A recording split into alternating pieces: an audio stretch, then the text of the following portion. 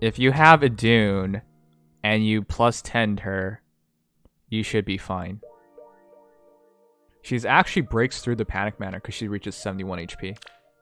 Panic Manor only catches up to 70.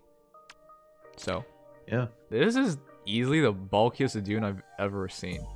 What the heck That is, is 135 uh, magical bulk. Yeah. and then 125 for physical. Mm-hmm. And then she can drop your attack by 6. So make it 131, 141 physical magic, respectively. okay. Well, this as is long as she's within two spaces of an ally or has a buff. Yeah, and you really can't stop this because she just uses her duo skill and then she doesn't count as a dragon or armored. That is a good point. Alright, let's see. So basically, the two arrows are not meant to do anything except for provide sparkling boost. That's 10 damage heal from far away.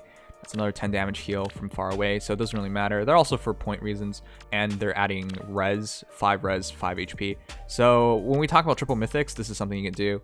So that is extra 15 HP on Doom, which gets her to 71. That's a critical point right now because 71 breaks the Panic Manors. This level 7 is as high as you can go right now. With that said, though, this Alphonse is crazy high as well. 59 HP, 45 res. Okay. Um, and Purely because of double Eir. yeah. Yeah, and of course, because it imbued coma, it adds another 5 to all stats. Yeah, uh, he's Yeah, fine. special is ready. Which is gonna happen. Mm-hmm. And of course, this guy's not even running seals because he doesn't need it. But he could. He could be chilling my team if he wanted to. So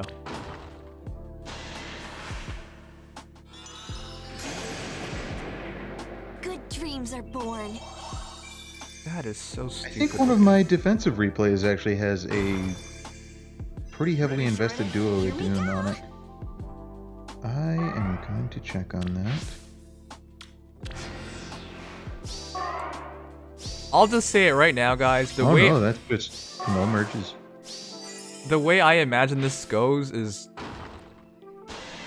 Never mind. This is not what I Pleasant imagined would happen. That's right. What am I saying? He doesn't even need the. What am I saying? He doesn't even need the defensive tiles. Why would you need it? You have 71 HP, 58, 58 attack, 37 speed, 54 defense, and 64 res. Uh, Zephyr Breath. If a bonus granted by a skill like Rally or Opponent is active on unit, or if unit is within two spaces of an ally, neutralize unit's penalties and inflicts attack minus 6 on foe during combat, and foe cannot make a follow-up attack. So, So so- all of those debuffs are just not there right now because peony. yeah, they're not there. What the heck? Yeah, as long as she has a buff, they're just not there. Anyways, yeah, don't be fooled by this. She's actually not debuffed. Cheer up, okay? She actually doesn't even have to. Why did she not go on the defensive? Who actually? Why would you even need the defensive tile? That's right. Oh my Defensive god! tile is in range. Hmm. Oh What? my! Wow, that's disgusting. Oh my. All right, guys. If you're if you ever wanted to become a whale and just win for free, uh, you just do this. I- Guys, he didn't even use her duo skill.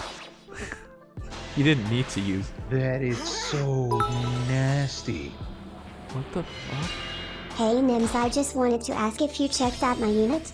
If so, then that's great. I'll see what you have to say in the box. If not, any chance of taking a look?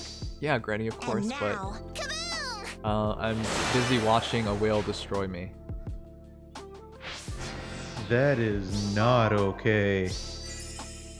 There's, by the way, guys, there's literally no way to beat this. Again, if you're like, what if I just use effective against dragon weapon? What if I use effective against armored We weapon? can Fire sweep.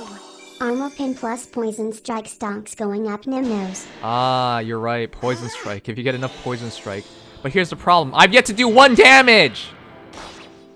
Well, you did three damage with Ophelia's special. Oh yeah. The blessings of Mother Earth. Wait, even Ophelia's special would only get her to one. E it wouldn't work. I need to do one damage for that to work, guys.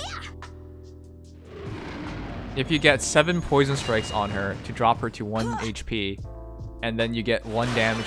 This is so stupid. What are you supposed to do about this? This entire team is just surrounding that Idunn, and she's just killing them one by one. I have seen people overestimate Idunn's capabilities before. Yeah, Mostly because Death Knight can be kind of bullshit in, in his own right. I don't think Death Knight will beat this. Death Knight would be able to actually do some work against it, though. This is a tri triple mythic. He's also healing 20 HP each turn. You know that, right? Oh, I am well aware. So you actually have to beat him like in the same turn. Beat her in the same turn, and she didn't even need to use her duo skill.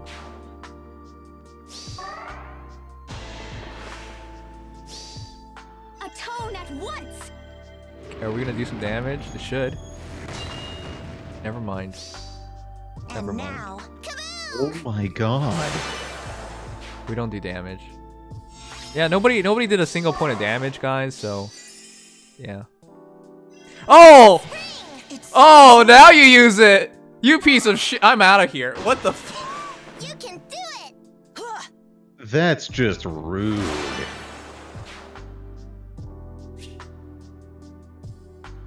Yes, you won. You you won. Yes, absolutely, you won. Wow. That was one of the most disgusting things I have ever seen. Uh, it also pisses me off because I don't really know what, what you you're supposed to do about that. Like, how how do you stop this? Keep in mind, if she uses this, she's not a dragon or armored anymore. That's 76 plus 6. That's 82 res.